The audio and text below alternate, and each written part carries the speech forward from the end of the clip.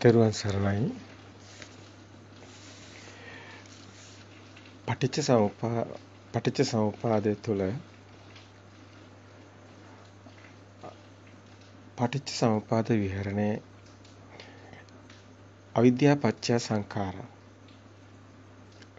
සංඛාර පත්‍ය විඥාන විඥාන පත්‍ය නාම රූප නාම රූප පත්‍ය සලආයතන සලආයතන පත්‍ය පස්සෝ පස්ස පත්‍ය වේදනා යම් වේදේති තං සංජානාති.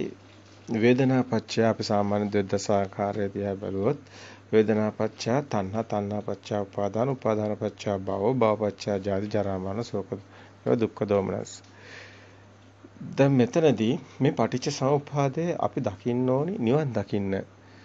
අපි නිවන් දකින්න මේ පටිච්ච සමුප්පාදේ නිවැරදිව දකින්න ඕනි. නැතු මේ පටිච්ච සමුප්පාදේ මේ සසර යන්නක් තියෙනවා පටිච්ච සමුප්පාදේ ඇත්ත පටිච්ච සමුප්පාදයේ කියන කාරණාව දිහා බැලුවම ඉතින් ප්‍රත්‍ය වෙනවා. දෙත්වේ තියෙනවා. මේක ඒකට පත්‍ර වෙනවා, ඒක මේකට ප්‍රත්‍ය වෙනවා. ඉතින් අන්‍යෝන්‍ය වශයෙන් පත් උපන්නයි දෙපැත්තටම ප්‍රත්‍ය උපදිනවා. අවිද්‍යාව කියන නොදන්නකම නිසා සංඛාරය කියන්නේ සිතුවිලි උපදින පුංචි දරුවට උනත් අවිද්‍යාව නිසානේ නොදන්නකම නිසානේ මේ මේ විදීම හැදීම ඉඳන ගැනීම වලට ස්කන්ධය පහළ වෙලා තියෙනවානේ. ඒ ස්කන්ධයට මේ ඉන්නේ දැන් පෙර කර්මයෙන් සකස් වුණු කයක් තියෙනවානේ. දැන් මේ කයත් කියලා අපි කතා කරා දැන් මෙතන මේ අසක මේ තියෙනවානේ ශරීර ධාතුවක් සකස් වෙලා තියෙනවා. දැන් ඒක විදීම් හැදීම් ස්වභාවයක් තියෙනවානේ. ඒකට දැනෙන ස්වභාවයක් තියෙනවා. අන්නේ ඒ ස්වභාවය තුළ ප්‍රසාදවත් වීමක් තියෙනවා. අනේ ප්‍රසාදවත් වීම තියෙන පෙර කර්මයෙන් හටගත්ත කාර්ය ශරීරයක් නේ. ශර ධාතුවක්. මේ පුංචි දරුවා උපතින් මුකුත් දන්නේ නැහැ. නමුත් පුංචි දරුවාගේ සිත දිහා බැලුවාම ශරීර ධාතුවක් වගේම සිතක් දිහා බැලුවොත් කොහොමද මේ සිතක් සකස් වුනේ කියලා. එතකොට තමයි වැටහෙන්නේ මේ පුංචි දරුවා උපතින් සිතක් ගෙනවද කියන කාරණේ. තමයි තේරෙන්නේ මේ ප්‍රසාදවත් වලට ස්කන්ධානපාති බව ආතනය පටලව අංගුච්ච ජාති වගේ ජාත්‍යම සූත්‍රය කියන විදිහටම මෙතනදි පෙන්වන්නේ ඇත්තටම මේ දරුවා ඇස කියන ආයතනේ හැදෙන්නේ ඇස කියන ආයතනේ හැදෙන්නේ එතකොට මේ දරුවට ඒ මොහොතේමයි ඒ දරුවා උපදිලා නෙමෙයි ඉපදිනකොට නෙමෙයි මේ දරුවට පෙනීම කියන මොහොත. ඉතින් මේ දරුවගේ මසැස මෝරපු යම්කිසි දරුවා මේ ලෝකෙට බිහි වෙලා යම්කිසි මේක මෝරන්න යම්කිසි ගත වෙනවා යම්කිසි කාලයක්. මේ තුල මේ දරුවා ප්‍රභාස්වරයි. මේ දරුවට සිතුවිලි නැහැ. මොකද මේ දරුවා මේ ප්‍රභාස්වර ප්‍රසාදය වීම නිසා මේ ප්‍රසාද වලට හැඳුනා ගැනීම. බාහිරින් නාම එකතු කිරීම. ඉතින් ඒක ඇත්තටම සිද්ධ වෙන්නේ බලනකොට දැන් අම්මා කියන වචනේ අම්මා අම්මා අම්මා කියලා දරුවා අම්මා කියනවා. නමුත් බාහිරින් කියන්නේ මේ අම්මා කියලා. දැන් තාත්තා තාත්තා කියලා දරුවා තාත්තා කියනවා. නමුත් දැන් බාහිරින් කියන්නේ මේ දරුවට මේ ඉන්නේ තාත්තා කියලා මේ පුතේ තාත්තා. දැන් ওই වචනේ හුරු කරනවා. දැන් අවිද්‍යාව නිසා මේ සංඛාර පිටින්නේ එන්නේ නේද? සංඛාර ඇතුලෙන් උපදිනවත් නෙමෙයි. දැන් ඇත්තටම මෙහෙමත් දෙයක් තියෙනවා. දැන් මේකේ උපතින්ම බැලුවහමත් ක්‍රියාවලියක් තියෙනවා. ඒකේ අර ගහ වගේ තමයි ගහේ ක්‍රියාවලියක් තියෙනවා. ඒ වගේ මේකෙත් ඒ ක්‍රියාසිත කියලා අපි කතා කරනකොටත් පෙන්නනවා. ඒකට හිමිකරුවෙක් නැහැ, දෙයක් නැහැ, නමුත් ක්‍රියාවක් තියෙනවා. ඇයි එහෙම කියන්නේ? ඇත්තටම දැන් මේ ලෝකෙට බිහි වෙන දරුවා හුස්ම නොගත්තොත් මල කඳක්නේ.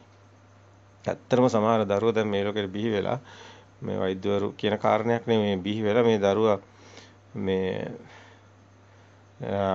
හුස්ම වැටෙන්නේ නැහැ දරුවා හුස්ම වැටෙන එක තේරෙන දරුවා සද්දයක් එනවා කටින් හුස්ම පිට ගත්තොත් හිතසු පිට වෙනකොට එන සද්දේ ඒ අර වතුර කේතලේ නටනවා වගේ කොච කොච ගාලා මේ දරුවත් කෑ ගා කෑ ගහනවා ඉතින් එතනින්ම තේරෙනවා මේ දරුවා හුස්ම ගන්නවා කියලා. මොකද වායුවක් පිට වෙන්නේ පස්සේ සද්දයක් එන්නේ.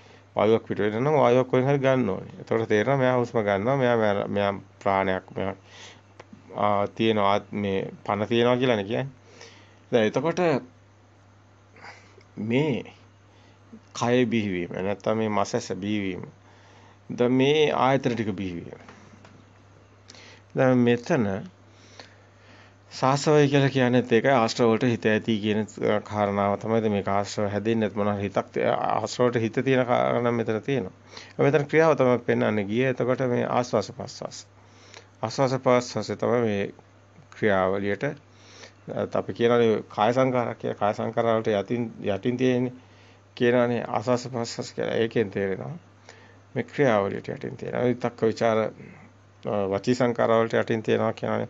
ධම්මදින්න අහතරණිය මේ උපාසක විසාක විසාක උපාසකට තමන්ගේ විසාක උපාසකට පවසනවානේ මේ කාරණේ. එතකොට එතනදී කියනවානේ මේ කාය සංකාර වලට යටින් ආස්වාස ප්‍රසවාස තියෙනවා. වචී සංකාර වලට යටින්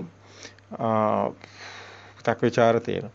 එතනදී කියන චිත්ත සංකාර වලට යටින් වේදනා සංඥා තියෙනවා. නමුත් දැන් මේ මේ දහම හරියට කෙනෙක් ගලප ගත්තොත් ඒ කෙනාට තේරෙනවා මේවා සේරම එක එකම ගුලියකට යන කතාවක්. මේක එකම දිගුවක් තියෙන්නේ. ඒ කියන්නේ මේ ක්‍රියා ක්‍රියාව දැන් මේ ක්‍රියාවලිය ප්‍රසාද වීම ප්‍රසාද වලට ඒ ප්‍රසාද හරහා ගොඩනගෙන මේ ditthwe අසද්ද අද්දත බහිද්ද ඇතුලෙන් එන මායාව හැදෙන හැටි මායාව නිසා විඥානය නිසා හටගන්න ditthwe මේ නාම රූප අන්ත දෙක. ඒ මිදීම මේ නිවන් මාර්ගට යන හැටි. එතකොට අපි දැන් මේ පැහැදිලි කරගෙන ආවා කතා කරගෙන ආවා. වේදනානුපස්සනාව කායानुපස්සනාව කන කායानुපස්සනාව කය කයට මේ කය කියන එක ඇවිල්ලා පවතින කයක් නැහැනේ කය කයෙන් කය මුදවගෙන තැනටනේ රූපෙන් රූපේ මිදෙන තැනට රූප සංඥාවනේ හිතේනේ හැදෙන්නේ. ඒකත් පවතින්නේ නැහැ ක්ෂණය ක්ෂණය අටගෙන නිරුද්ධ වෙනවනේ. එතකොට බාහිරින් අපිට අපි බාහිරය ගැන දැනගන්නේ විඥානය කියන්නේ ඒ කතාවෙනුත් තේරෙනවානේ. එතකොට මේ දැනගැනීම සිද්ධ වෙන විඥානයක නම් ඒක නාමයේ පැත්තටනේ යන්නේ. එක බාහිරට යන්නේ අතුලාන්තයෙන්මනේ හටගෙන මේ ප්‍රඥප්ති සම්මුති නම් ඔක්කොම ඇදලා තියෙන්නේ. ඒතකොට ඒවනේ සම්මුති නම් ප්‍රඥප්ති ඒවනේ සංඛාරා. ඒවා ඒවනේ එතකොට මේ අවිද්‍යාපච්චය සංඛාර. ඒ නිසානේ පෙරමතකයක් හටගන්නේ. එතකොට පෙරමතකේනේ මෙතන ප්‍රශ්න වෙන්නේ ආය සිතුවිලි හටගන්න හේතු වෙන්නේ. සිතුවිලි හටගන්න හේතු වෙන්නේ පෙරමතකේම තමයි. ඇයි එකක් එනකොටම සසාදයක් එනකොටම එනවා නාමේ. නාමෙන්නේ පෙරමතකේ. ඉතින් නාමයත් එක්කම ගැට ගහනවා ආයි ඒක තමයි දකින්නේ වගේ රූපේ. මේකට වැඩි තියෙන්නේ මෙතන ආයතන 6 දිහා බැලුවම පේනවා මෙතන අල්ලන්න පුළුවන් නැහැ කියන්න බෑ මේ තද ගතිය අහු වෙනවා අතට ඉතින් මේ වගේ ප්‍රසාදවත් ප්‍රසාද පහ ආයතන මේ පහ දිහා බැලුවම දැන් මනෝ ආයතන වෙනම තීරණ ගන්න නිසා මනසට අරමුණු ගන්න පුළුවන් ධම්ම නිසා යම තිබ්බොත් සතර සුද්දාෂ්ටකය කියලා ගන්නකොට පට ව්‍යාපෝ තේජෝ වායෝ උදාහරණ ගන්නනේ කයට අරමුණු වෙන්නේ පොට්ටබ්බ කියලා ගන්නවා එතකොට වර්ණය කියන එක ඇසට අරමුණු වෙනවා. ගන්ධය කනට අරමුණු. රස ඕජා කියන එක රසක ජීවවට ගන්ධය කියන එක එතකොට නායට අරමුණු වෙන ඕජාව කියන එක කන්ට.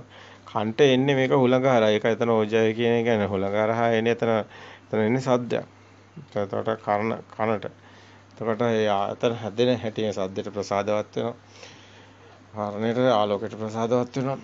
එතකොට ගඳ සුවඳට ප්‍රසාදවත් වෙනවා. එතකොට දිවට ප්‍රසාදවත් වෙනවා. මේක අපි මිනිස්සයා කියන සත්වයා තමයි මේ ප්‍රසාද වට්ටික ගොඩක් තිරියන් සතුගෙත් අපි දකිනවා. නමුත් බැලුවාම මේ ලෝකයේ දිහා බැලුවාම මේ ප්‍රසාද විවිධාකාරයි. ඔබ දන්නවා වවුල. වවුලට වෙන නෙමෙයි වවුල තරංග රේඩාර් පද්ධතියක් වවුල ක්‍රියාත්මක වෙනවා කිරණ පද්ධතියක්. ඒ හරහා වවුල ඉදිරියේ තියෙන දේවල් ගැන නිර්ණයකට එනවා. ඒ ප්‍රසාද යන ස්වභාවය වෙනස් වෙලා තියෙනවා. ඒ වගේ තමයි අපි මේ පණුවෙක් ගත්තත් උන්ට ප්‍රසාද ස්වභාවවල වෙනසක් තියෙනවා. ඒ නමුත් ප්‍රසාද ප්‍රසාදයක්මයි. ඉතින් මේක බොහොම සියුම් කාරණයක්.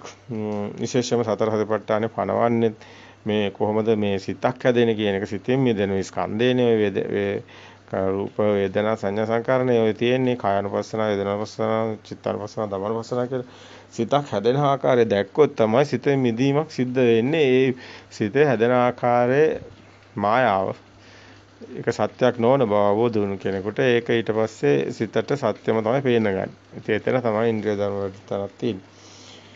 ඉතින් මේක අපි සරලව කතා කරගෙන ආපු කාරණාවක් නමුත් ඔබට වැටහෙන්නේ නැති කාරණාවක් අපිට නැවත නැවත අපි උදාහරණ සහිතව පෙන්විය යුතුයි කියන තැනක අපිට දැනෙනවා අපේ ප්‍රශ්න අහනකොටත් තේරෙනවා මේ අපි කියාගෙන ගිය පෙළ පෙළ දහමනෝ බලෝ චක්කුම් පටිච්ච රූපේ චුප්පච්ච චක්කු වෙනවා තින්නම් සංගති පස්සු පස්සපච්චා වේදනාය කිසං සංජානාති යං සංජානාතං විතක්කේති යං විතක්කේතං ප්‍රපංචේති තම විජානාති දැන් මෙතන බාහිර ප්‍රසාදේ නිසා එතන බාහිර ප්‍රසාදේ නිසා ආලෝකයක් ගසස් සෙවන හටගෙන සෙවන මෙන්න මේක තින සංගති පස්සෝ කියලා පෙන්නනවා ආලෝකය බලපානවා බාහිර බලපානවා චක්කුංච පටිච්ච රූපේ චුප්ප චක්කු විඥානං තමයි අය තමයි ආයතන වල හට ගන්න සිතක් මේවා තියෙනවා නමුත් ඒකේ හඳුනා ගැනීමක් වෙන්නේ නැහැ සම්මුති නාමය ප්‍රඥප්ති නාමයක් නැහැ නමුත් එතන හඳුනා ගැනීමේ ස්වභාවය ආරම්භයේ තියෙනවා. ඒ නිසා එතන චක්කු විඥානය කියලාත් ගන්න. චක්කුංච පටිච්ච රූපේට. ඇසට රූපේපත් වෙලා අටගත් විඥානය කියන්නේ. නමුත් අස කියන එක හදාගන්නෙත් අපිමයි. රූපේ කියන එක හදාගන්නෙත් අපිමයි. ඉතින් එතනින් හදාගන්න විඥානයත් එහෙමනම් අපේ හිතේමයි හටගන්නේ.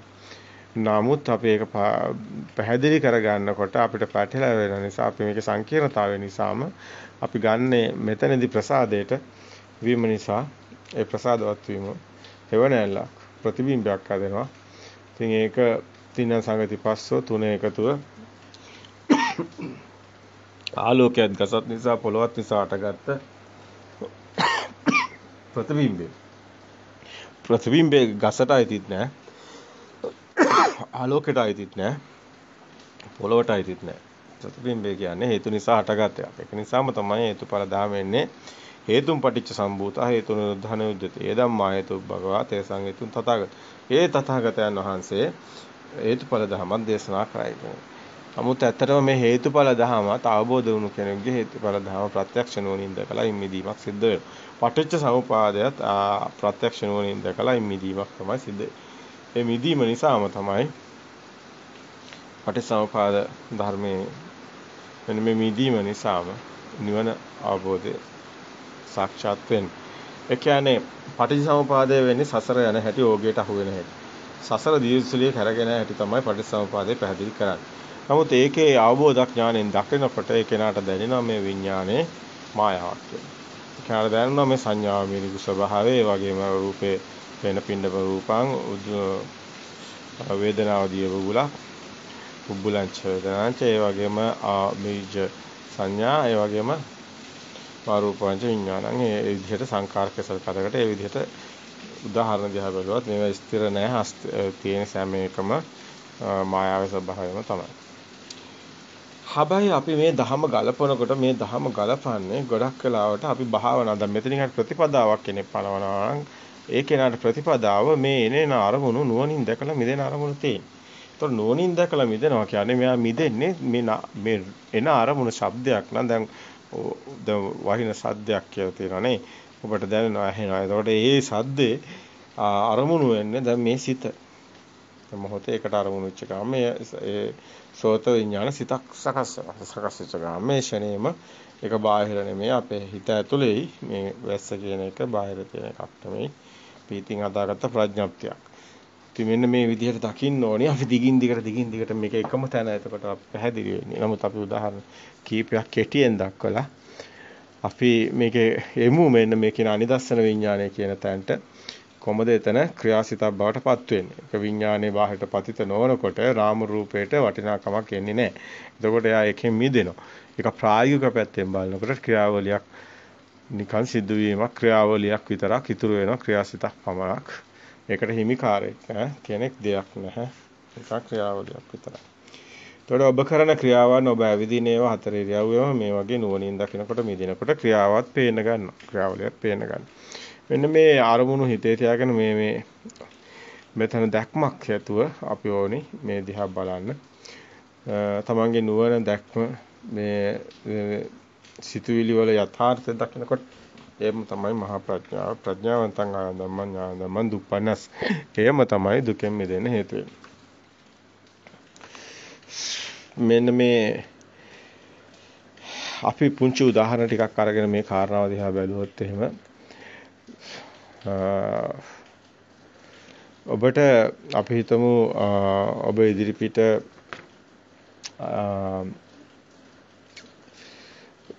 අපි අර වේදනාව වේදනානුපස්සනාව හැබැයි වේදනාවර හිමිකාරයක් නැහැ කියන එක ඒක ගොඩක් නුවණින් දැකිය යුතු තැනක්.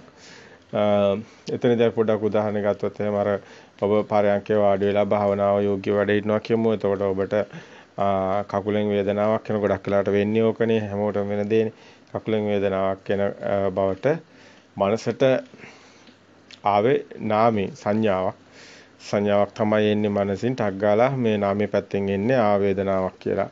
එතකොට මේක එන්නේ කකුලෙන් ගිහලා රූපයට ගැට ගැහෙනවා. එතකොට කයත් පහසත් කාය සම්පස්සත් නිසාටගත් වේදනාව කරන කොටගෙන උපන් සංඥාවට විතර්ක කරලා හටගත් ඒ දැන ගැනීම විඥාණයෙන් බාහිර රූපයෙන් හමු වුණා කියන්නේ කකුලෙන් වේදනාවක් එනවා කියන එකට රැවටුණා. මිරිගුව ඇති තැන මිරිගුව ඇති තැනක වතුර පෙන්නලා තියෙනවා වගේ වතුර සොයා යන මුවසේ එතනට අත අත අරගෙන ගිහිලා ඒක කාය සංකාරය යොමු යොමු වෙලා ඒක එහෙට මෙහෙට හරවලා සොලවලා ඔබේ වේදනාව නැති කරගන්න උත්සාහ කරනවා. ඉතින් නමුත් ඒ වේදනාව වේදනාවක් පමණයි. වේදනාවට හිමිකාරයක් නැහැ. ඒක නිකන් ක්‍රියාවලියක් පමණයි. මේ සත්‍ය දකින්න කෙනා දකිනවා මේක විඥානයේ මායාව. මායාව දකිනකොට තේරෙනවා මේක කකුලට අයිතිත් නැහැ කියලා. කකුල කියලා දෙයක්වත් නැහැ. ඒකත් හිතේ අදාගත්තේ කියලා. ඒකට තමන්ට කියලා කෙනෙකුත් නැහැ. තමන් කියන කෙනාට ඇදෙන්නේ මේ ක්‍රියාවලිය ඔස්සේමයි.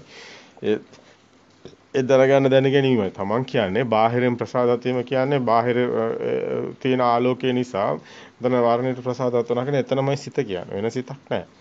ඔය තමයි හිත. එක දිගට පුංචි කාලේ ඉඳන් මරණ කම්ම තියෙන හිතක් නැහැ. ඒ මොහොතේ ක්ෂණිකව හටගෙන නිරුද්ධ වෙනවා. මේ කතාව නෝනින් දකින්න ඕනි තනක්. ඒ වගේම අපි ගත්තොත් එහෙම අපිට ශබ්දයක් ඇහුනොත් ඒ අපිටම දැන් වහින ශබ්දය ඇහුනවා කියලා. එතකොට කනට ශබ්දයක් ඇහෙන එක කනේ විඥානය. එතකොට සෝත විඥානය. ඒ නිසාටගත් සෝත සම්පස්සේ විඳලා හඳුනාගත් ඒ මනසේ මනෝ විඥානයේ තන තමයි සංඥාවට විතර්ක කරලා දැනගන්නවා කියන තැන. එතකොට එතනින් තමයි දැනගන්නේ වැස්ස. එහෙම නැත්නම් බල්ලෙක් බොරනවා. නැත්නම් කපුටෙක් කෑ ගන්නවා. මේ ඔක්කොම සම්මුති ප්‍රඥප්ති. බාහිර තියෙන ඒවා නෙමෙයි.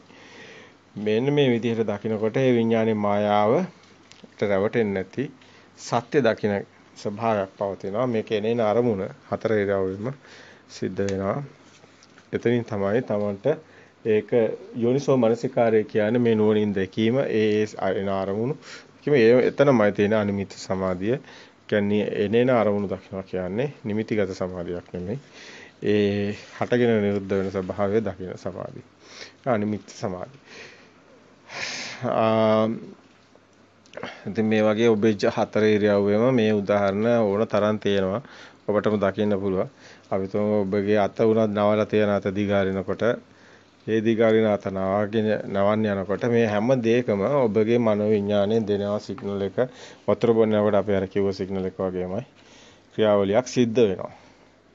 ඒක නුවණින් දකිනකොට විඤ්ඤාණය පතිත වෙන්නේ නැති වෙනකොට ඒක හිමිකාරයක් නැති වෙනවා. අතක් දෙයක් කියන එකක් නැතුව ක්‍රියාවලියක් සිද්ධ වෙනවා. ගාය අත් හැලෙනවා වගේ ඔබ ක්‍රියාසිත දකිනවා කියන්නේ බොහොම සියුම් කාරණයක්. සංඥාට ඉතක් දැනගන්නවා කියන කාරණාවත් මේකේ අර සංඛාරා කියන අවබෝධය ඇතිව දකින්න ඕනි.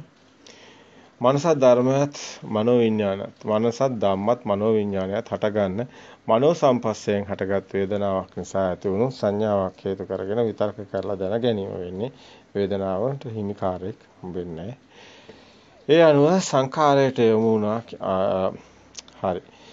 දැන්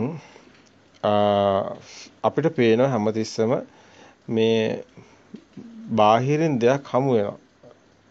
ආයතන උපද්දවාගෙන කර්ම රැස් කරගෙන සසරට වැටෙන ඒ ඒ ඒක නුවණින් දැක්කේ නැත්තම් දියසුලියක් වගේ සසර ඕගයට අහු වෙනවා වගේ ඒ කියන්නේ සිතුවිලි වැල් හදමින් නිදිමින් හදමින් යනවා. බාහිරින් දෙයක් හමු වීම සමුදේ. එහි දැනීම සමුදේ ඥාන. බාහිර දෙයක් කෙනෙක් කියන සම්මුති ප්‍රඥප්තිය බාහිරින් හමු වෙනවා කියන්නේ එතන සමුදයතේ. කියන්නේ දුකේ හට ගැනීම. නැත්නම් උද තණ්හාව කියලා ගන්නෙත් ඔය දෙයක් ගත්තොත් එතන තණ්හාවකුත් වෙනවා එක්ක ඇලීමක් ගැටීමක්.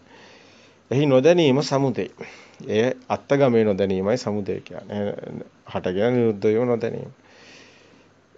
ඒක එහි නොදැනීම සමුදය අඥාන. සමුදය ඥානං කියන්නේ මේ හට ගැනීම දකින්න අනුවණින් ඒක නුවණින් දකින්න නැතිකමයි සමුදය අඥානය කියන්නේ. එතකොට චතුරාර්ය සත්‍ය කෙනෙක් දකින්න කොටත් සමුදය, නිරෝධය, මාර්ගේ හතර චතුරාර්ය සත්‍ය ඒ දුක හතර ආකාර ඇති වෙන ස්වභාවය නිරෝධ වෙන ආකාරය සමුදය ඇති වෙන හැටි දුකක් තියෙන බව හටගන්නේ දුකක් මට ගනි ඒකට දුක්ඛ සත්‍ය සමුදය සත්‍ය නිරෝධ සත්‍ය ඒක නැති කරන මාර්ගයේ නේනාරමුණු දැකීමේ මිදෙන එක ප්‍රතිපදා මාර්ග සත්‍ය. ඒ එතනමයි ස්කන්ධයේ උදේවැය දකින්න ආරකාන්ත සීලය කියන එක එනේන අරමුණු දකිමින් මිදෙන ගමන.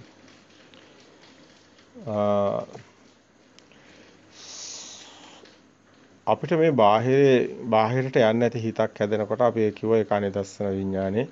ඒක මනෝ විඥානේ ගොඩක් වෙලාට මේ මෙතන වැදගත්කමක් තියෙනවා.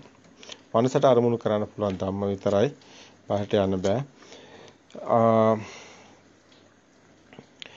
මෙතන ආයතන ටික අපි හදාගෙන හදාගෙනයි බාහිරට ගිහින් නැවත බලන්නේ. එතකොට ආයතනත් හැදෙන්නේ මේ මේ විඥානේ බාහිර පතිත වුණොත්. ඒ කියන්නේ විඥාණයට මායාවට හසු වුණොත්. නැත්තම් ආයතන නිරෝධෝ නිබ්බානෝ කියන තැනට එනවා. නිවනට ස්පර්ශන තැනට. බැලීමේ ඇසීමේ දැනීමේ කැමැත්ත ආසාවමයි. කර්ම චේතනාව දුක්ඛ සමුදය තණ්හා උපදින හේතුව මෙන්න මේ බාහිරින් අල්ලගත්ත දෙයට ඇති වෙන කැමැත්ත කැමැත්ත. කැමැත්තක් ඇති වුණොත් ඒක තණ්හා ආසාව කැමැත්තක් ඇති වුණොත් දේශය. ඉතින් මේක වචන වලින්ම කතා කරලා ගන්න පුළුවන් කාරණයක් නෙමෙයි. තමන්ගේ අත්දැකීම් නුවණින් දකිමින් මිදෙන්න ඕනි ගමනක් ඔබ යන්න ඕනි. ඒ සඳහා ප්‍රතිපත්තියක් මේ විදිහට පනවලා තියෙන්නේ ආරමුණු දකින්න විදිහට. ඇහැ ඉපදුනොත් බාහිර හමු වෙනවා. චක්කු විඥානයත් උපදිනවා. වේදනා සංඥා සංකාරයත් හටගත් මේ ස්කන්ධ ටික ආපව වතාවක් උපදිනවා. ඒ කියන්නේ විඥානේ මායාවට රැවටුනොත් නැවතත් ආයතන හදාගෙන බාහිරට ඇති දේ විඳින්න යනවා. විඥාන මායාව මායාවට රැවටුනේ නැත්තම් චේතනා සකස් වීමකුත් සිදු නොවේ. විඥාන මායාවට රැවටුනොත් චේතනා පහළ වෙනවා. එහෙම වුණොත් කර්ම රැස් වෙනවා. ඒ කියන්නේ කෙලෙස් හට ගන්නවා. එහෙමනම් ආයතන හදාගෙන බාහිර විඳින්න යනවා. ඒ කියන්නේ ලෝකේ හදා ලෝකය හදාගත් හදා ගන්නවා. ලෝකේ හදාගෙන තියෙන බාහිර මේ විදිහට දේවල් තියෙනවා පුජ්‍යලයෝ ඉන්නවා සත්වයෝ ආත්මීය දේවල් තියෙනවා කියන මෙන්න මේ වගේ බාහිර හැම දෙයක්ම හමු වෙනවා කියන්නේ ඒවත් එක්කලා ගොඩ ගැහුණු ලෝකයක් උපාදා උපාදාන ගොඩවක් නැත්නම් භව උපාදාන අලගත්ත දෙයක් නිසා භවයක් ඉතින් වචන මේවා ඉතින් ගොඩක් ලොකු තේරුමක් ඇතුව තමන් දකින්න ඕනවනේ.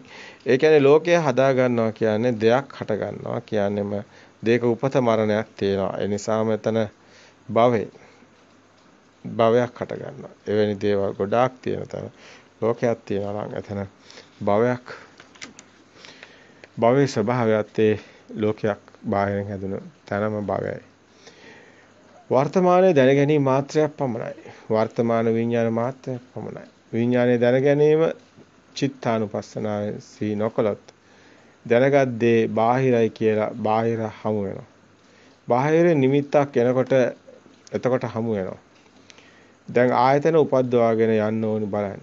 ඒ තියෙන දේ බලන්න ඇහැ උපද්දවාගෙන නැවතත් බාහිරට යනවා. ඒ තියෙන දේ අහන්න කන උපද්දවාගෙන බාහිරට යනවා. ගඳ සුවඳ බලන්න නාසය උපද්දගෙන බාහිරට යනවා. පහස විඳින කාය උපද්දගෙන බාහිරට යනවා. රස විඳින දිව උපද්දගෙන බාහිරට යනවා. මේ විදිහට මේ අහපු දැකපු විඳපු ඒ දැනුම දැනුණු දෙයට කැමැත්ත ආශාවක් ඇති වෙනවා නම් චේතනා පහළ කරගෙන බැලීමේ දැකීමේ වර්තමාන ආශාව දුක්ඛ සමුදය හට ගැනීමමයි. වර්තමාන සමුදයට හේතු වන ඵලය බාහිර හමු වීමමයි. බාහිර අභ්‍යන්තර කියන මෙන්න මේ ditthවේ නිසායි ඔබට තණ්හාව නැමැති දියසීරාව හමු වෙන්නේ. ගැට ගැසීම හමු වෙන්නේ. ස්වරක උදාහරණයක් ලෙස බුදුන් වහන්සේ දක්වන කඹයක් එකම අතට දෙතැනක ඉඳගෙන අඹරයිද ඒ කඹේ ගැට නොගැසේ කියලා. කඹයක් බවට පත් නොවේ. මේක ලොකු තේරුමක් තියෙනවා. හිතින්ම හදාගෙන නම් අපි නාමයෙන්ම නම් රූපය හැදෙන්නේ. ඒක බාහිරටයි දිනේ. එහෙමනම් මේ කඹේ ඇඹරෙන්නේ එකම පැත්තටයි. දෙන්නෙක් දෙපැත්තෙන් හිටියට එකම පැත්තට ඇඹරන කම්බියේ කඹේ මැද්ද ගැට ගෑනේ නැහැ. ඒ වුණොත් ලිහිනවා. ඉතින් මෙන්න මේ විදියට මේ කාරණේ නෝනින් දකින්න ඕනි.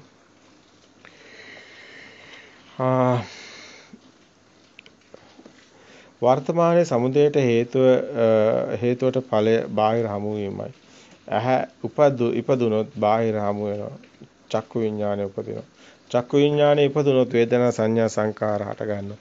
නැවතත් පටිච්ච සමුප්පාද චක්‍රයේ සිතක් හට ගැනීම තුළ ඔබට දකින්න ලැබෙනවා.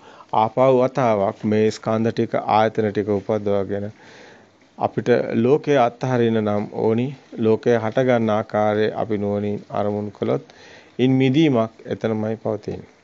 චිත්තානුපස්සනාව අඩුවක් නැතුව තේරුම්ගත් කෙනෙකුට විතරයි මේ පහසු වෙන්නේ. විඥානය හටගත් ආකාරය දන්න කෙනා විඥානේ බාහිරින් හදලා දෙන ඒ අරමුණක් ඇතක් ඇත්තක් නොවන බව මායාව බව දැනගන්න. අන්නේ කෙනාට ආයතන හදාගෙන දකින්න, අහන්න, විඳින්න කැමැත්තක් ඇති වෙන්නේ නැහැ. විඥානේ මායාවක් බව සත්‍ය නොවන බවට නුවණක් පහළ වෙනවා. අන්නේ තැන කෙනාට සියත් නුවණත් අනුව ගිය යෝනිසෝ මනසිකාරය හමු වෙනවා. මෙන්න මේ සත්‍ය දැකීම දර්ශනය සත්‍ය ඥානෙ ඔබ දුකින් මුදවනවා. ඒ කියන්නේ ඔබ හොඳින් දැන් නුවණින් අපි දැන් සාකච්ඡා කරගෙන ආවා. විඥානයේ හටගත්ත විදිය හඳුනාගෙන විඥානයේ හටගන්ම බාහිරේ දෙයක් නොව ඒක සිතින්ම හදාගත්ත සංඥාවට විතරක කරලා දත්ත දැනගැනීමක් බව ඔබ නුවණින් දැකිය යුතු කාරණයක්. එනේන හැම සිතකම මේ දකින ඔබ බාහිර ලෝකයෙන් මිදෙනවා. විනය ලෝකයේ අවිද්‍යාව දවනස්. එහෙමනම් ඔබට දුකින් මිදීමක් සිදු වෙනවා. මෙලෙස බාහිරින් දෙයක් කෙනෙක් හමුණා කියන්නේ සිතේ උපදින ඒ දැන ගැනීමට අනුව යමින් බාහිරට පතිත කර ගැනීම අල්ල ගැනීමයි උපාදාන අවස්ථාව. මෙතන මේ මහරහත් උතුමාණන් වහන්සේලාටත් දැන ගැනීම තියෙනවා. හැබැයි ඊට කෙලෙසේ පතිත වෙන්නේ නැහැ. ඒ කියන්නේ බාහිරේ රූපයක් නාමයක් රූප ප්‍රඥප්තියත් එකට එකතු කරන්නේ නාම රූප ගැට ගැහෙන්නේ නැහැ. ඊටේ හදාගත්ත දේ බාහිරේ හමු වෙන්නේ නැහැ. ඒක රහතන් වහන්සේලාගේ මේ ස්වභාවය ප්‍රායෝගිකව එනේන අරමුණ දකින්න සත්‍යමයි රහත් භාවයේදී ප්‍රත්‍යක්ෂ වෙලා තියෙන්නේ. ඒ කාරණාව මනාව පැහැදිලි වෙනවා. ඒ නිසා අපත් කළ යුත්තේ කුමක්ද? මේ එනේන සෑම අරමුණක්ම නුවණින් දැකිය යුතු වෙනවා. ඒ සිත ඒ මොහොතේම දැකලා සත්‍ය පෙන්විය යුතු වෙනවා. සත්‍ය පෙන්වීමේ ඒ සිත එතනින් මිදීමක් සිද්ධ වෙනවා. අඩේ තුළ ඒ සිතින් මිදීම කියන්නේ නිවනමයි. මේ මාර්ගයේ හරියට මේක අවබෝධ කරගත් කෙනෙක් ඉන්නවා නම් ඔහු මේ දර්ශන සමාපත්තිය ඇති කෙනෙක්. ඔහු මේ දර්ශනය දන්නවා. ඔහු ලෝකේ හැදෙන හැටි දන්නවා. සත්‍ය ඥානය ඔහුට අවබෝධයි. අන්නේ කෙනාටයි ප්‍රතිපදාව දැන් තියෙන්නේ. දැන් එහෙනම් ඔහු එනේන හිත දකිමින් මිදෙන්න ඕනේ. දවසක හිත මිදුණු තැනටම යනවා. එයයි සමාධිය අනිමිත්ත සමාධිය. චේතෝ විමුක්තියටපත් වෙන්නේ අන්නේ අනිමිත්ත සමාධිය දැකපු කෙනාපත් වුණු කෙනාට හිස් බැල්මක් හිස් ශබ්දයක් එහෙම නැත්නම් ක්‍රියාසිතක් හමු වෙනවා. කිසි දෙයකට හිමිකාරයක් හම්බ වෙන්නේ නැහැ. අයිතිකාරයක් දෙයක් හම්බ වෙන්නේ නැහැ. එයා අන්නේ කෙනා ලෝකෙන් මිදෙනවා. හැබැයි මේ දැනුම තියෙන කෙනා නෙමෙයි. ප්‍රායෝගිකව මේ දේ ප්‍රතිපදාව තුළින් ප්‍රත්‍යක්ෂ කරගත්ත කෙනායි ලෝකෙන් මිදෙන්නේ. ඇත්තටම මෙතන සත්‍ය දකිනකොට අත් හරිනව නෙමෙයි අත් හැරෙනවා.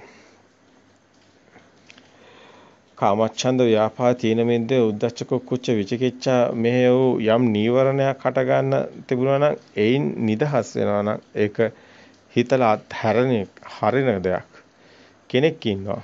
එතන තියෙන්නේ ලෞකික පෘථග්ජන භූමියේ පොහුදුන් මට්ටමයි ඒ නීවරණ යටපත් කිරීම තුළ ලබන ධ්‍යානත් එහෙනම් ලෞකිකයි. ඒව පවතින ඒවා නෙමෙයි. කොයි වෙලාවෙ හෝ නැති වෙනවා. හේතු නිසා අටගත්ත දේ හේතු නැති වෙනකොට නැති වෙනවා. ඒක හරි. මේ මග යන කෙනා බොහොම නිර්මල කෙනෙක් විය යුතුයි. නුවණටම අවස්ථාව දිය යුතුයි. සත්‍ය අවබෝධ කරගන්න. නැතිනම් ඔබ හිතුවක්කාර විදියට ඔබගේ ආත්මීය තණ්හාවේ ස්වરૂපයෙන් මේ ගමන යන්න බෑ. ඒ කම්සප නැමැති කඩතිර ලිහා දාන කෙනාටයි නෙක්ඛම්මේ නැමැති ඒ කම්සපේ මිදුණු නිර්වාණ සෝයාම ඉතින් මේ මාර්ගයේ ආයුතු කෙනා දන්නවා මේ ධර්මය අවබෝධ දන්න කෙනා දන්නවා මේකේ කොතනද මේ ප්‍රතිපදාව පැනවිය යුත්තේ? නාමය හට ගන්න තැන රූපේ හට නොගන්න බවට පත් කළ යුතු තැන මෙයයි කියලා අවබෝධයි. අන්නේ කෙනා වෙහෙස දරනවා වීරිය දරනවා. තමන්ගේ කුස බඩ පෙරෙන ගමනුත් තමන්ගේ සසරින් මිදෙන කටයුත්තට හිත තබා ගන්නවා. මේ සත්‍ය සැබෑවක් කරන්න ඒ උත්සාහවත් වෙනවා කියන්නේ ඒ සතර 이르දිපාද වැඩෙනවා කියන එකයි. පංච ඉන්ද්‍රිය ධර්ම වැඩෙනවා කියන එකයි. පංච බල ධර්ම වැඩෙනවා කියන එකයි. සප්ත බොජ්ජංග ධර්ම වැඩෙනවා කියන එකයි. සතර සම්ම ප්‍රධාන වීරිය වැඩෙනවා කියන්නේ චතුරාර්ය සත්‍ය වැඩෙනවා කියන එකයි. චන්දං ජනේති වායමති විරියං ආරහතේ චිත්තං පග්ගඤ්ඤාති පජහති කියනකොට නූපාන් කුසල් නූපදීම උපන් කුසල් වැඩි දියුණු කිරීම නූපන් කුසල් උපදවීම උපන් අකුසල් ප්‍රහීන කිරීම නූපන් අකුසල් නොහට ගැනීම ඒ වගේම මේ සතර සම්‍යක් ප්‍රධාන වීර්ය. තාම ඒ වගේම තමයි සතර ඊර්තිපාද. ඡන්ද චිත්ත වීර විමර්ශ ඡන්දේ කැමැත්ත චිත්ත සිත දකින්න ඡන්ද චිත්ත වීර වීරය ගන්න විමර්ශා ඇති කෙනා තමයි මේ සත්‍විස් බෝධිපාශික ධර්ම වැඩෙන ආකාරය අපි මම කියන්නේ ඔබට. එතකොට සතර 이르දිපාද වැඩෙනවා කියන්නේ පංච ඉන්ද්‍රිය ධර්ම වැඩෙනවා කියන එකයි. පංච ඉන්ද්‍රිය ධර්ම කියන්නේ සද්ධා වීර්ය සති සමාධි ප්‍රඥා. සද්ධා කියන්නේ මේ ධර්ම දැන ගැනීම සත්‍ය දැකීම. ද වීරය කියන්නේ සත්‍ය ප්‍රත්‍යක්ෂ කරගෙන සයන අරමුණු වලට වීරයෙන් පෙන්වීම. සතිය කියන්නේ අරමුණු ඊට පස්සේ මහ වීරයක් නැතත් ඒක ඉබේම පේන ස්වභාවයටපත් වීම. ඒ අනුව ඔහුගේ ඇලෙන ගැටෙන හිතින් ඔහු මිදිලා ඔහු ශාන්ත ප්‍රණීත පුජ්‍යල භාවයේ මිදුණු ස්වභාවයකටපත් වෙනවා. අන්නේ කෙනා භික්ෂුවයි. භික්ෂුව මේ ශාසනය තුළ ඔහු විසින් ශබ්ද දුක්ඛ නිස්සාර නිබ්බාන සත්‍ය කරණත්තා ඉමං කාසාවත් ගහෙත්වා අනුකම්පං උපාදායක. අන්නේ පැවිද්ද ඉල්ලන භික්ෂුන් වහන්සේගෙන් උපාද්ද භික්ෂුවට කියන වාක්‍යය. ඒ තුල තියෙනවා ස්වාමීනි මට මේ ස්වාමීනි නිවන සඳහා මට පැවිද්ද ලබා දෙන්න ස්වාමීනි. සබ්බ දුක්ඛ නිස්සාරණ දුකෙන් මිදීම සඳහා නිස්සාරණම ගෑම සඳහා ඉමං කාසාවන් ගහත ඔය කතාව මට දෙන්න ස්වාමීනි අනුකම්පාදාය ස්වාමීනි අනුකම්පා කරන්න ස්වාමීනි ඔබ්බජ්ජා අනුකම්පා කරලා මට මේ තරගය ලබා දෙන්න ස්වාමීනි මේ සත්‍විස් බෝධිපාශික ධර්ම වැඩෙන තැන තියෙන්නේ එකම කතාව. ඒක අපි කිව්වේ මේ සේරම එකටමයි තියෙන්නේ ආරෂ්ඨාංග මාර්ගයේ වැඩෙනවා කියන්නේ සම්මා දිට්ඨියටපත් වෙනවා කියන්නේ දර්ශන සමාපත්තිය ඇති කෙනාටයි. සත්‍ය ඥානය ඇති කෙනාටයි සම්මා දිට්ඨිය තියෙන්නේ. ඒ තාක් ඔහු ඉන්නේ පු탁ජන භූමියේ. පොතක්ජන භූමිය කියන්නේ ඇත්තටම පුහුදුන් මිත්‍යා මිත්‍යා දෘෂ්ටික භූමිය කියන්නේ මහා භයානක තැන. එහි ඔබට සත්‍යයක් නැහැ. ඔබ ඉන්නේ කොහොමද රටෙල්ලක. කොයි මොහොතේ ඔබට විපතියක් අනතරක් සිදු වෙන ඉඩ තියෙනවා. නමුත් මේක කටින් කියන එකෙන් භාෂාවෙන් මෙහෙම වචනෙන් කියන එක සිතුවිල්ලක්. ඔබට ප්‍රත්‍යක්ෂතාවය තුළ ඔබට එන අත්දැකීම් අර දුටු වේයිද දේව දූතයෝ කියනවා වගේ මහල්ලෙක් ලෙඩෙක් මල කඳක් පැවිදිරුවා. ඔබ විසින් නිතරම මේ ලෝකයේ සත්‍ය දැකිය යුතුයි. ඒ දකින්න කෙනාටයි මිදීමක් සිද්ධ වෙන්නේ. දාන්න කෙනාට දකින්න කෙනාට දැනුනොටයි මේ දුකින් මිදීමක් සිද්ධ වෙන්නේ.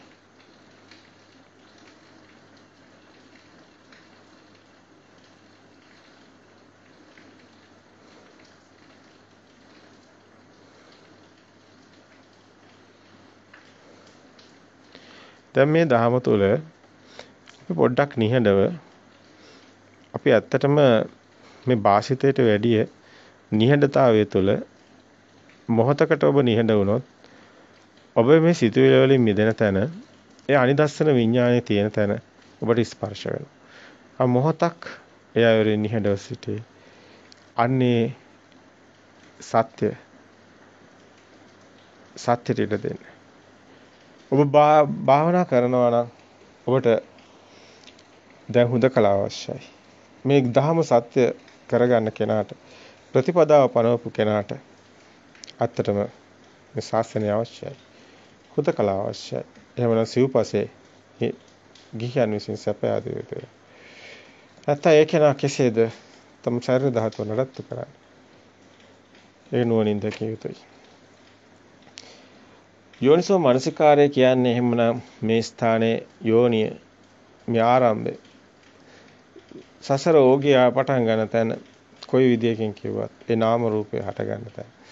නාම රූපච්ඡ විඥාන කියන තැන යෝනිසෝ මනසිකාරය පිහිටන අන්න එතන ඒ ස්ථානයේ නුවණින් දැකලා එතනට මේ ධර්මයේ ගැළපිය යුතු වෙනවා.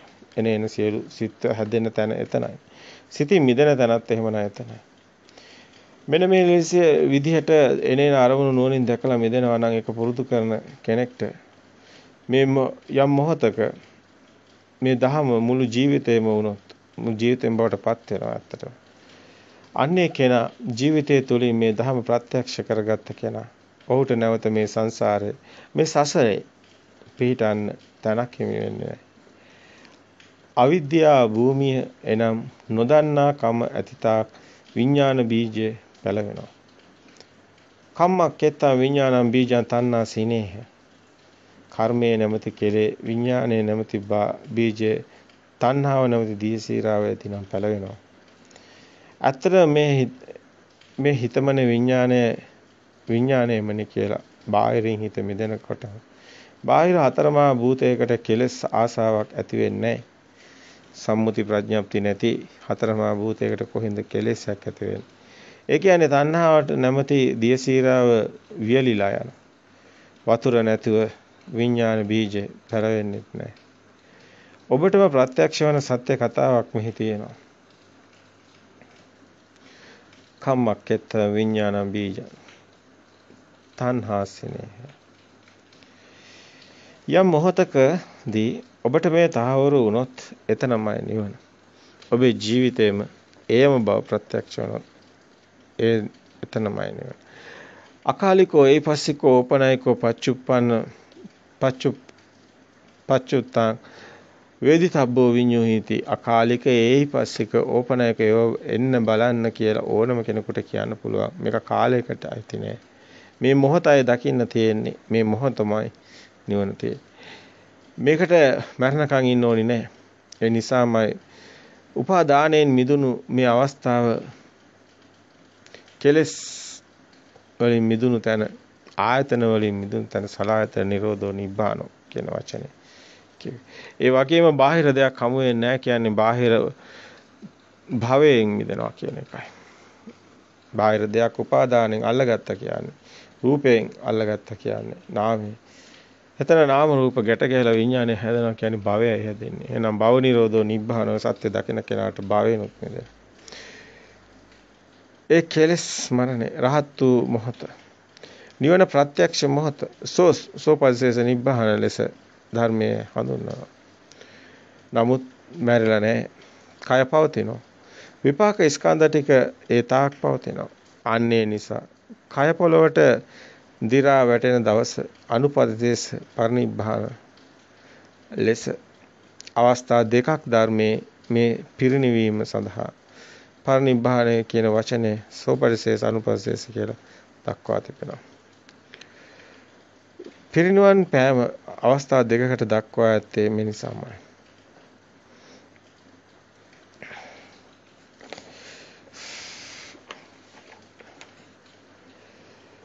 කිනම් පුරාණ නවන්නති සම්භව විරන්ත චිත්ත ආයතිකේ බවස්මින් තේ කීන බීජා අවිරුජන්තා නිබ්බන්ති දීරා යදායම් පදීපෝ තේකීන බීජ අවිරු ඔව් මේ කිනම් පුරාණ නවන්නති සම්භව විරන්ත චිත්ත ආයතිකේ භවස්මින් තේකීන බීජ අවිරු ජන්තා නිබ්බන්ති දීරා යතහයම් පදීපෝ බීජේ නැවත පැලවෙන්නේ නැහැ හටගත්ත පොළවත් නැහැ විඥානේ නිරෝධයි මෙන්න අපිට පැහැදිලි වෙනවා සතිය පිහිටා කටයුතු කිරීම ඊටම වැදගත් බව. ප්‍රජානාති. ජානාති. කියන්නේ දැන ගැනීම දැනගන්නවා. ප්‍රජානාති කියන්නේ නුවණින් දැනගන්නවා. කුමක් හොඳ විඥානේ හටගත්ත දැනගන්න.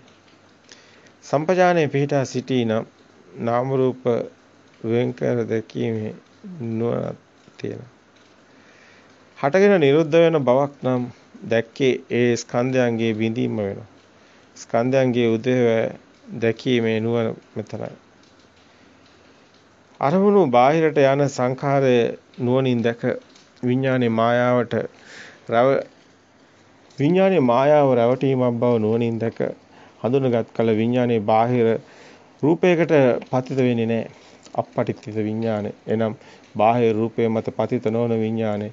අර අපි කලින් පැහැදිලි කළ උදාහරණය ලෙස එළියේ දෙයක් තියෙනවා කියලා. ඒ දැනුණත් ඔළුව හරවල බලන්නේ නැහැ. ඒ වෙනුවෙන් Tamanට ක්‍රියාවලියක් සිද්ධ වෙන්නේ නැහැ. Taman ක්‍රියා කර්මයේ සකස් වෙන්නේ නැහැ. අවිද්‍යාව පත්‍ය සංඛාරා සිද්ධ වෙන්නේ නැහැ.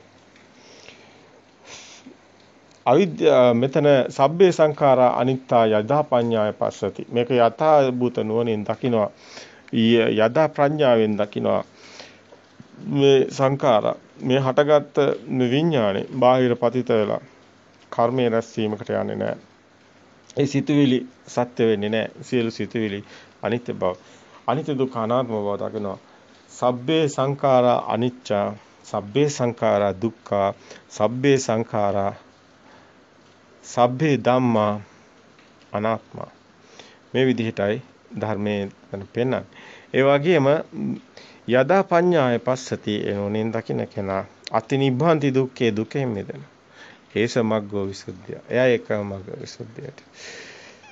මෙතන මේ හටගන්න නිරුද්ධ වෙන මේ සිතක් මේ හටගන්නේ විඥානය අනිදස්සන විඥානය කියලා කිව්වේ. බාහිර පතිත නොවුනත්. හැබැයි කෙනා මේ නුවණින් දැකලා තමන්ගේ සිතමයි මේ හටගෙන සිතමයි බාහිරින් දකින්නේ කියලා බාහිරට යන්නේ නැතුව මේ එතන සිතත් හැබැයි මායාවක්. සිතත් පවත්මක් නැහැ. ඒක මිරිඟුවෙන් හටගත්තේ ප්‍රතිබිම්බේ. ඒයි සත්‍යයක් නැහැ.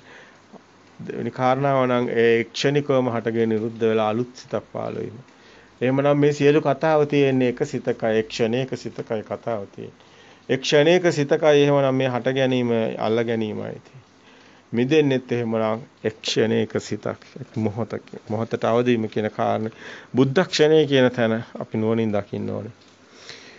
ඉතින් මේ දකින කෙනා තමයි නිබ්බිදාන්ති කලකිරීමට එන්නේ මේ සිත ගැනයි. නිබ්බිදාන්ති විරාගන්ති අන්නේ කෙනා අල්මක් එන්නේ නැහැ. නිදීමට එනවා, විරාගයට එනවා. විරාගන්ති නිරෝධන්ති. අන්නේ කෙනා නිරෝධයට යනවා. නිරෝධන්ති පටිනිස්සග්ගාන පස්සේ.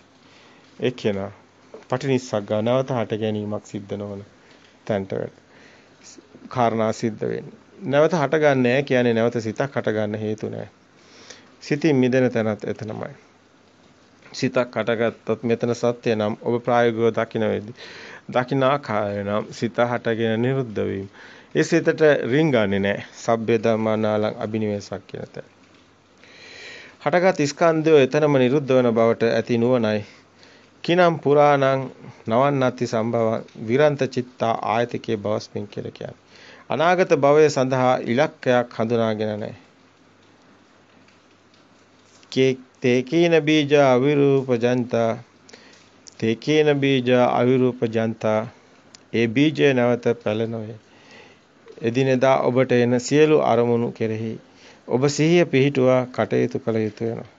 ඔබට දැන් කරන්න දෙයක් තියෙනවා. සත්‍ය ඥානය ඇති කෙනාටයි කෘත්‍ය ඥානය. කෘත්‍ය ඥානය ඇති කෙනාටයි කෘතඥානය. හැබැයි ඔබට එන සියලු අරමුණු සියලු සිතුවිලි සතර ඉරියව්වෙම ඔබ විසින් නුවණින් දැකිය යුතු වෙනවා. ගච්ඡantiවා ගච්ඡanti මේ මානසිකාරය සියලු අරමුණු කෙරෙහි.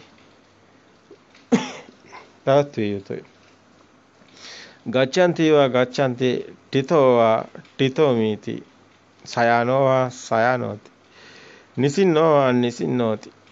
යතා යතා පජානාති. තත තතාවා පජානාති. අවික්ඛන්තේ පටික්ඛන්තේ සම්පජානකාරී හෝති. ආලෝකිතේ විලෝකිතේ සම්පජානකාරී හෝති. සන්තින්ත්‍රයේ සන්නින්තේ ප්‍රසාරිතේ සම්පජානකාරී හොති.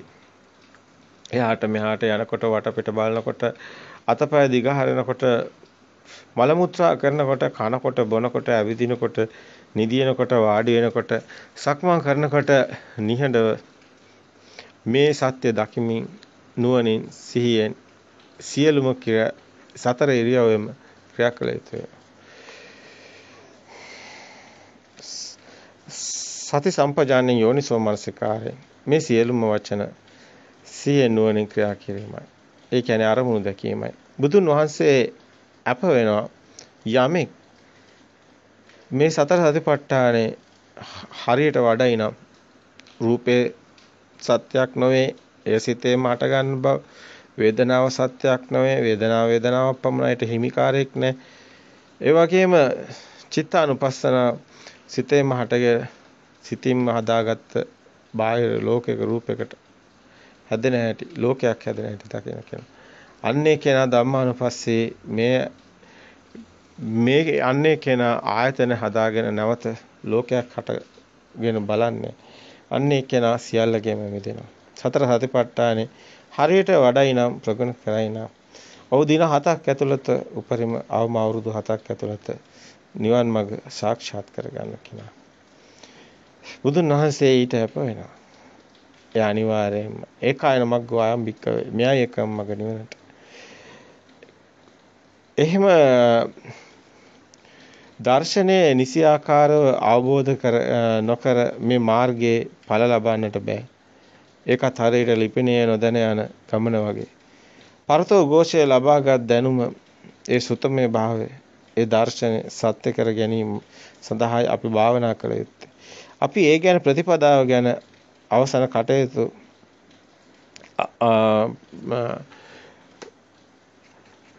ප්‍රතිපදාව ගැන කතා කළ යුතු වෙනවා. ප්‍රතිපදාව ගැනයි අපි අතරම මේ දා කතා කළේ. සතර සතිපට්ඨානයේ වඩන ආකාරය ගැනයි. උපාදානයෙන් මිදෙන තැන නිවනයි. උපාදානය කියන්නේ බාහිර රූපය අල්ලා ගැනීම නාම රූපය ගැන මේ දිගටම අපි කතා කරන්නේ. සතර අධිපට්ඨානේ වඩන කෙනාට සිද්ධ වෙන ස්කන්ධයේ උදේවය දැකීම කියන තැන ස්කන්ධය කියන්නේ වේදනා සංඥා සංකාර. විඳීම හැඳිනීම දැනගන්න. උදේවය දැකීම කියන්නේ හට ගැනීම සහ නිරුද්ධ වීම දැකීම කියන එකයි. අපිට අත්තගමේ හට ගැනීම පේනවා අපිට සමුදය පේනවා අත්තගමේ නිරෝධ වීම පේන්නේ ඒකයි අපේ ඇති බාල බොළඳ මනසේ ස්වභාවය. චතුරාර්ය සත්‍යයට ගලපලා බලන්න ඕනේ. පටිච්ච සමුප්පාදයට ගලපලා බලන්න ඕනේ. කිව්වේ ඒකයි.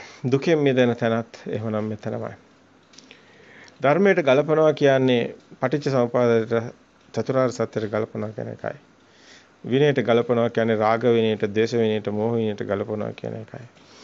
මහණෙනි අනාගතයේදී මේ ධහම අහුවත් පිළිගන්න එපා, දැක්කත් පිළිගන්න එපා, කිව්වත් පිළිගන්න එපා. මා පිටක සම්පදාය පිටකේ පොතේ තියෙනවා කිව්වත් පිළිගන්න එපා. මහණෙනි ධර්මයට විනයට ගලපලා බලන්න. කිව්වේ ඔන්න ඒ කාරණාව නිසායි. මේ සත්‍ය නම් ඇත්තටම සිතින් මිදීම සිතන කළ යුත්තේ. ඒ ඊටම අසිරු කාර්යයක්.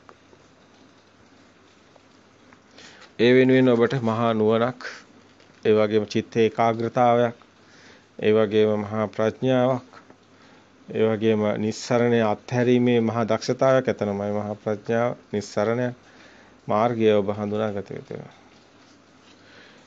ඉතින් මේ කතාව බොහොම සංකීර්ණයි.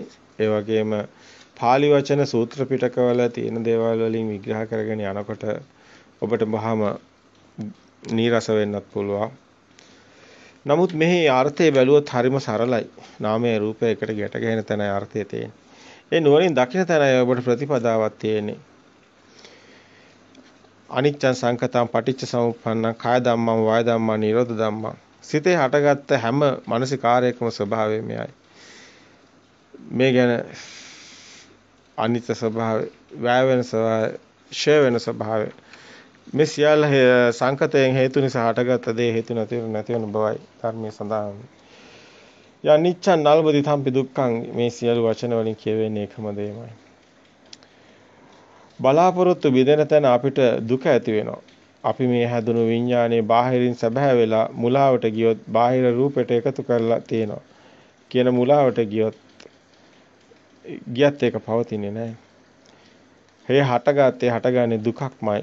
බාහිරින් දෙයක් හමු වෙනවා කියන්නේ දුකමයි හමු අපි සැපක් කියලා తాවකාලිකව මායා සතුටක් විඳින්න ගියත් එහි සැබෑ ස්වરૂපය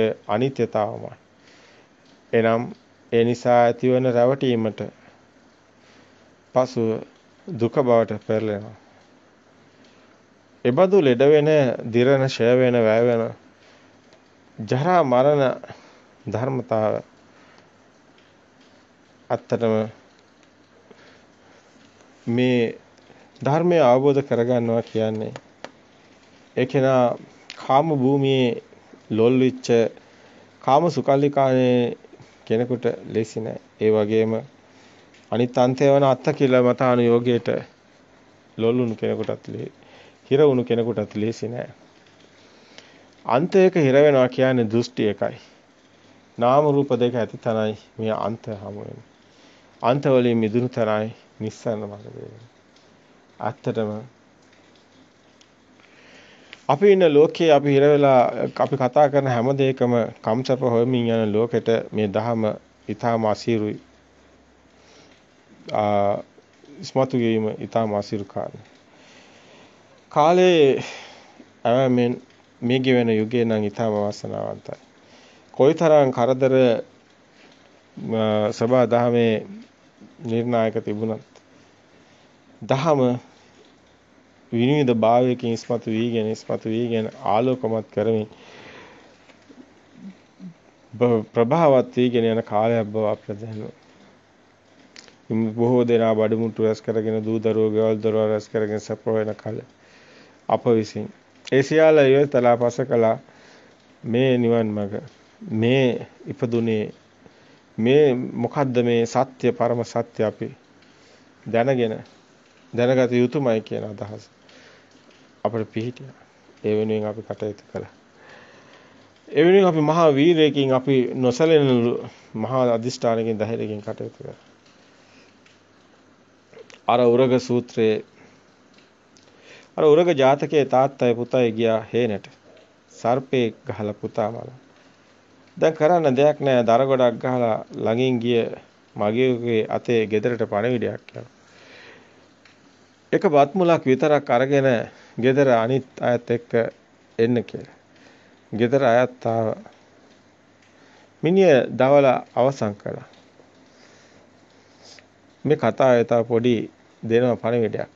සක්‍රිය අහනවලු ඊට පස්සේ ඇයි අඬන්නේ නැත්තේ කියලා. මෙයා අපි ළඟට ආවේ කියලාත් නෙමෙයි. මෙයා අපිව දාලා ගියේ කියලාත් නෙමෙයි. ඉතින් එහෙම දෙයකට මම මොකටද අඬන්නේ? මෙහෙම හිතක් හැදෙන්න නම් ඔබ කොයිතරම් ශක්තිමත් වෙනවද?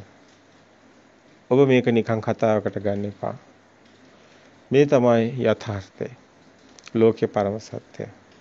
ඒ අවබෝධ කරගත්ත මුනිවරු අදත් පවතිනවා. අදත් ඉන්නවා.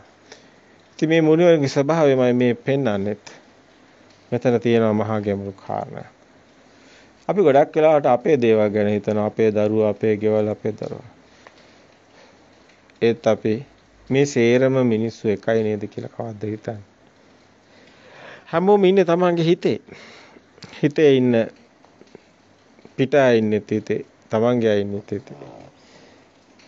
මේ කොහෙද අන්ත දෙකක් පිටායයි තමන්ගේ අය කියලා බාහිර රාජ්‍යත් කියලා දෙපැත්තකට බෙදුනේ කොහොමද ඒ තුලමයි මායාකාරී සිතේ උපත මායාකාරී සිතේ මිදීමට තියෙන්නේ මේ අන්ත දෙක හඳුනාගෙන දෙපැත්තක් නැති බව අවබෝධ කිරීමයි සිතමයි බාහිර කියන්නේ ඔබට හතුරෙක් ඔබට ගහන්න ආවත් ඒ හතුර නොහිටින්න ඔබට බාහිර දෙයක් නැති වුණොත් ඔබ අභ්‍යවකාශයේ තනියෙන් ඉපදුනා වගේ වෙනවා විශ්වයේ තනියෙන් ඉපදුනොත් මොකද වෙන්නේ? ඔබට සිතක් කොහෙන්ද? කාටද කියන්නේ? කොහෙන්ද සිතක් පහළ සිතක් පහළ වෙන නම් බාහිර තියෙන්න ඕයි. බාහිර අණුවයි සිතක් සකස් වෙන්නේ. ඒකයි බාහිරේ ප්‍රතිබිම්බයක්මයි මේ සිත කියන්නේ. එහෙමනම් ඔබට හතුරෙත් නැහැ මිතුරොත් නැහැ. ඇත්තේ සිතක් පහළ වීමක්. ඒ අවබෝධ කරගනී නම් එහි හැඩතල ප්‍රඥප්ති සම්මුති ඉවතලුත් ඔබ සියල්ලෙන් මිදුනොත් සබ්බේ ධම්මා නාලාභිනියස කිසිවකට ඔබට රින්ගන්න හේතුනේ සබාධම පමණක් ඔබට උරුම වෙනවා මෙන්න මේ උතුම් අවබෝධය ඇති කරන්න අපි උත්සාහ කරේ. සතර හතිපට්ඨානය වඩන්න ඕනි දර්ශනය දැනගෙන. මුකුත්ම දන්නේ නැතුව සතර හතිපට්ඨානය වැඩුව කියලා නිවන් දකින්න ලැබෙන්නේ අපි තාම භාවනා කරන හැටි පැහැදිලි කර. පැහැදිලිව කතා කළේ නැහැ. අතරම අපිට භාවනාවක් තියෙනවා. සබ්බාසෝ සූත්‍රය තුළ බුදුන් වහන්සේ පැහැදිලිවම දේශනා කරනවා. දස්සන පහතබ්බ අදිවාසන පහතබ්බ සංවර පහතබ්බ විනෝදන පහතබ්බ ඒ වගේම අවසානයේ කියන්නේ භාවනා පහතබ්බ කෙනෙක් කියයි නෑ භාවනාව අවශ්‍ය නෑ කියලා. ඔව් අවබෝධය වෙනකොට ඔබට දර්ශනේ පහළ නමුත් ඔබ ඒ දකින දර්ශනය ඔබ මේ සංඥාවේ ස්වභාවය පෙර මතකයේ ආපු හැටි මේවා නුවණින් දකින්න ඕනේ දැන්. ඒ වගේම මිදෙන හැටි. මේ කෙනාට සතර ඉරියව්වෙම කරන භාවනාවක් තියෙනවා. බුදුන් වහන්සේ පනවන්නේ විපස්සනා භාවනාව, විදර්ශනා භාවනාව. ලෝකේ පළමු වරට හඳුන්වා දෙන්නේ බුදුන් වහන්සේමයි. මේක පරයන්කේ වාඩි වෙලා ඇස් දෙක පියාගෙන ඉන්න එකක්ම නෙමෙයි. එනේන අරමුණු ඒ හේතන දැකමින් මිදෙන ගමනක් මේකේ තියෙන්නේ. මේක ටිකක් වෙනස්. වේදේ තුල පෙන්වන භාවනා ක්‍රමත් අපි බුදුදහම කියලා කතා කරන භාවනාවත් එක හා සමාන නැහැ. මේ අනිමිත්ත සමාධිය ඒ වේදේ තුල පෙනෙන නිමිතිගත සමාධිය නෙමෙයි. ඔවුන් කතා කරනවා කුණ්ඩලිනී යෝග ගැන. ඔවුන් කතා කරනවා එහෙම ශක්තියක් උපදිනවා විශ්වයේ. ඔවුන් බොහෝ දේ කියනවා. සත්‍තිස් ආනන්ද කියමින් වේදේ තුල බොහෝ කතා විශ්මතු වෙනවා. ඒ තුල ඔවුන් විඥානය ගැන කතා කරනවා. ඒද ඔව් බුද්ධ කියන ගැන කතා කරනවා. අනිත්‍ය දුක්ඛ අනාත්ම කියලා. ඔවුන් කතා කරනවා මේ ලෝකයේම ඒ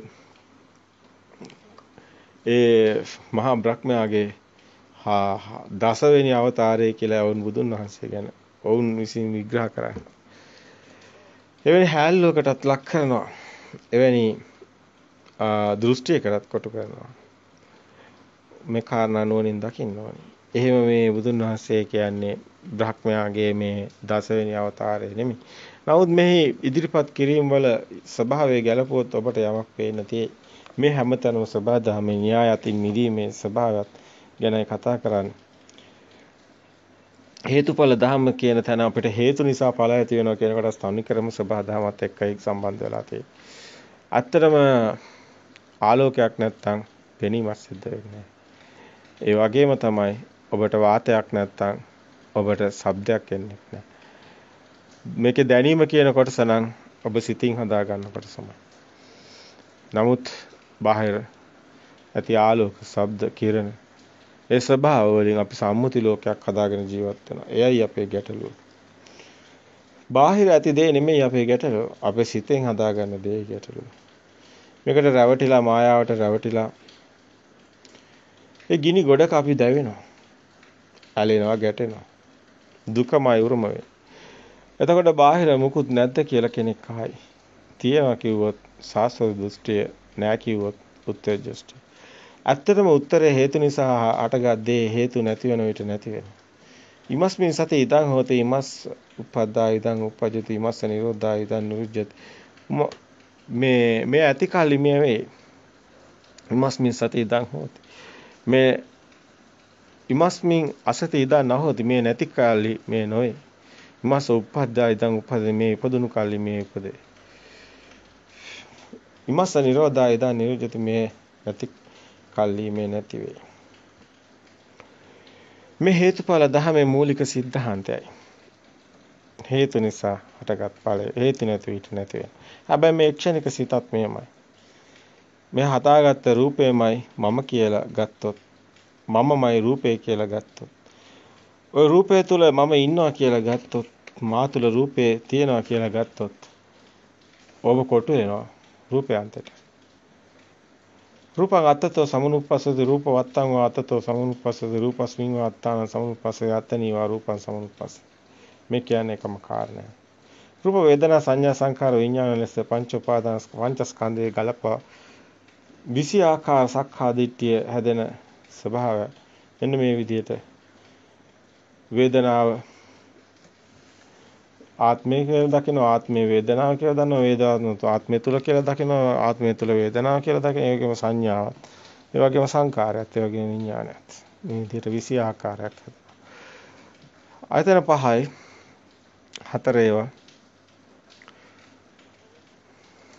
පහක් කියන්නේ 20යි ওই විදිහටයි 20 ආකාර සක්කා දිට්ඨිය සක්කා දිට්ඨිය කියන්නේ මේ රූපේ බාහිර දේවල් කෙනෙක් පුජ්‍යලෙක් ඉන්නවා කියන්නේ සිතන සිතමයි සක්කාය දිට්ඨිය. එයින් මිදෙන්නයි ප්‍රතිපදාව කරන්නේ. ප්‍රතිපදාව කියන්නේ කෘත්‍ය ඥානයි. සත්‍ය ඥානයයි අපි මේ කතා කරන්නේ.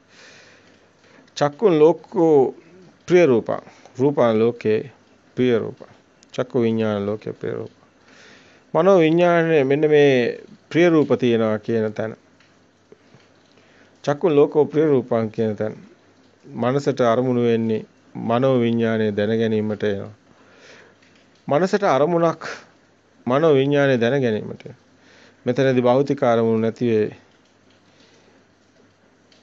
සිතුවිලි විතරයි මනසට අරමුණු වෙන්නේ. හැබැයි ඒව චක්කුන් ලෝක ප්‍රිය රූපං. ප්‍රිය රූප තියෙනවද? මේ ලෝකේ තියෙනවද? චක්කුන් රූපං චක්කු විඥානි නෑ. ප්‍රිය රූප සාත රූප තියෙන්නේ අපේ හිතේ හැදලා. බාහිර රූපයකට ඒවා හිතේ නෑ. මනෝ විඥාණයට පෙර මතකයේ එනවා රූප විචාරේ රූප තණ්හාව විතරක කරන ਵਿਚාරය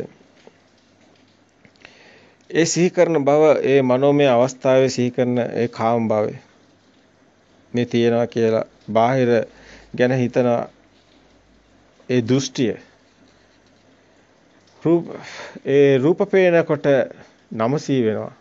නම ඇහෙනකොට රූප සී වෙනවා.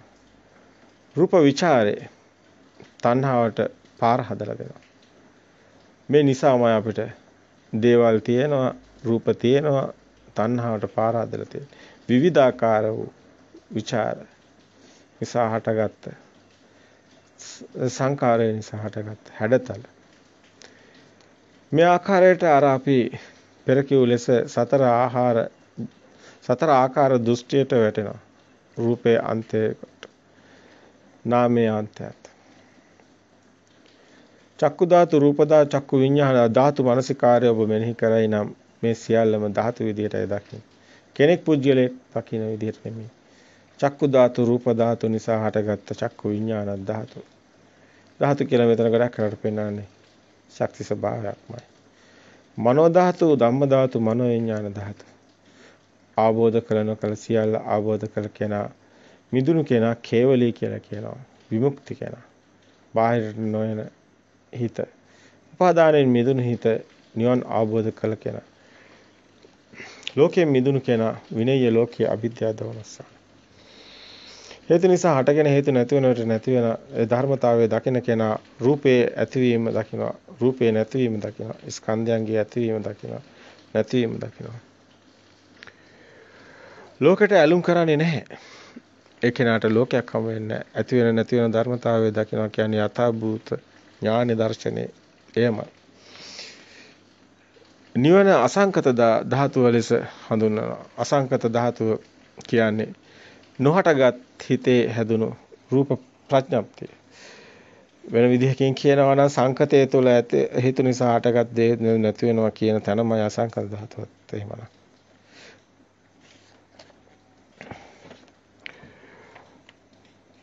අපි මේ විදිහට මේ විවිධාකාර වූ අර්ථකතන ගැන පැහැදිලි කිරීම ටිකක් කරගෙන ආවා. මේ දක්වා අපි ඒ කරපු ඉදිරිපත් කිරීම තුළ අවිල්ල නැවතෙනවා හැමතිස්සෙම ඔබ ඔබට දැනෙනවා නාම රූප තියෙන තැන.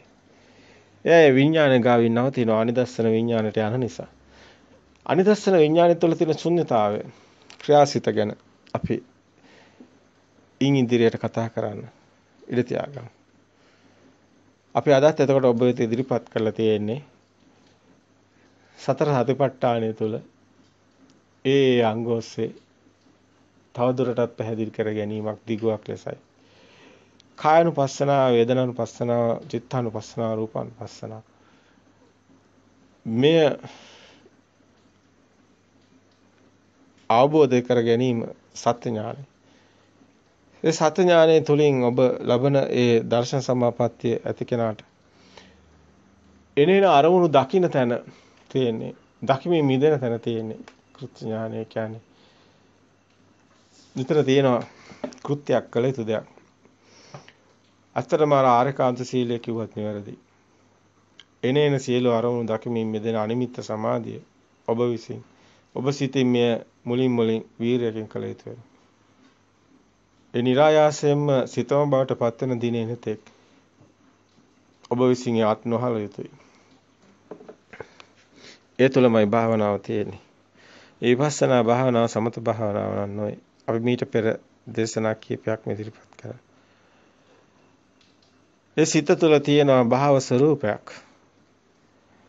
නිබ්බිදාවට යනවා සිත ඒසේ මොහොතේ ක්ෂණිකව හටගෙන නිරුද්ධන හිත දකින්න ඕනි. බද්දේක රත්න සූත්‍රයේ එතනදී හොඳින් දකින්න ඕනි.